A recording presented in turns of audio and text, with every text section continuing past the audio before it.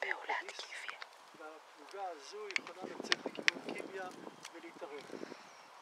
והחוליה שלנו, חמישה אנשים, פלוס חנן סמסון כאיש חבלה, אנחנו ניכנס דרך אה, לכפר נעילין. היום יש את אה, שילת, נכון?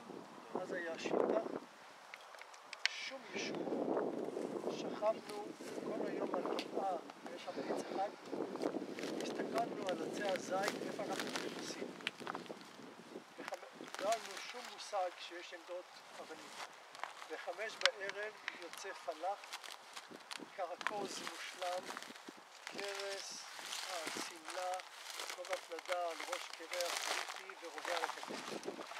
בדיוק מהמקום שבו אנחנו מתכוונים להיכנס. השעה חמש, אין כבר עכשיו לשנות שום דבר, ואנחנו ניכנס במקום שתכננו. ואין לנו מושג איך, מה קורה בתוך ה... והתוכנית הייתה כזו, חנן החבלן, יש לו על הגב תרמיל עם לבנות חבלה. לכל אחד מאיתנו יש קופסה עם עפרונות השעיה, זמן שונה, חצי שעה, רבע שעה. מה הרעיון? אנחנו ניכנס, לפני שנחצה את הכפר, נשים לבנות חבלה בכל מיני פינות, כך שנוכל לשבת בכביש ויהיו פיצוצים בצד הזה של דרום הכפר, והם יחשבו שפה פה אנחנו נמצאים. ובפועל אנחנו כבר נהיה שם. ו-20-30 מטרים פנימה, ואנחנו עוברים, איפה אתה עומד? כן, אפילו קצת אני, אני שומע, אני רואה, נתת אבנים עגולה, ואנשים מדברים. ואני נותן טפיחה למפקד החוליה על הכתף, ואני מצביע לו לכיוון ה... אין כאן אה, קבוצת פקודות. אני חושב שמה שהיה צריך לעשות זה ללכת באיזשהו אלכסון, אבל מה שקרה בפועל, הוא החליט, הוא הלך בצורה כזו, הגיע אל מאחורי העמדה, אל הפתח, ירה עם הטומיגן, כנראה שהוא הרג שניים, והשלישי רץ, ברח, בזעקות שבר שמעולם לא שמעתי. ותאמינו, השיער סמר לי על היד מעוצמת זעקות השבר של האיש הזה.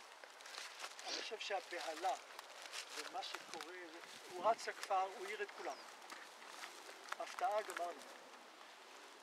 וכולם שמענו את הרעש, עכשיו המשימה היא לא להרוג אזרחים. נתחיל להגיע לכיוון הכביש, ניתקל בהם, נצטרך לראות. מה עושים, מה עושים?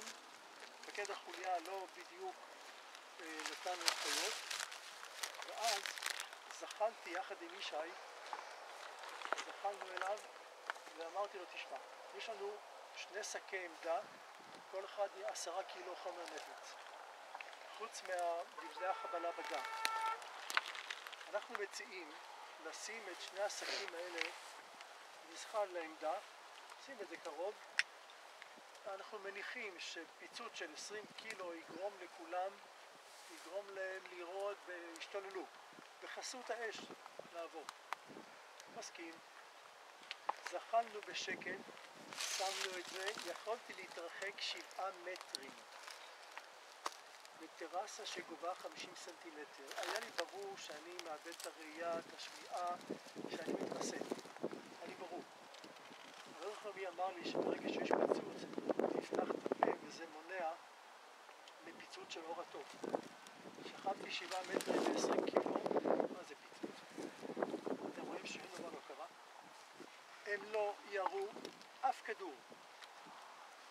כל רבע שעה הם שרקו, כל עמדה לפי הסדר שרקו מעמדה לעמדה, הם לא ירו. באותו לילה למדתי לקח לכל החיים. תן לאויב שלך להתבשל.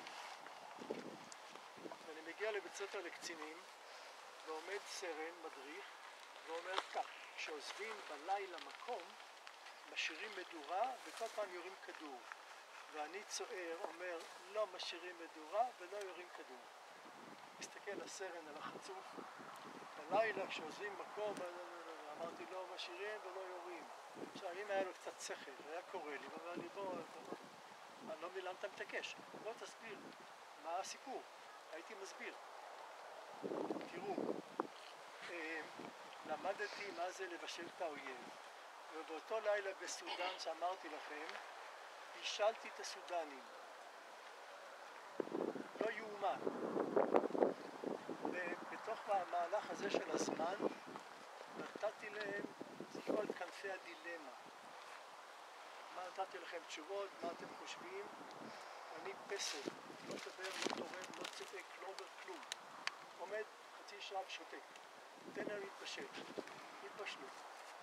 אז מה שאמרתי עוד שם, מכל אחת מן הפעולות האלה היו לקחים שנחרטו יותר, והיו כאלה שהתמזגו עם משהו אחר. זהו, הזכיר.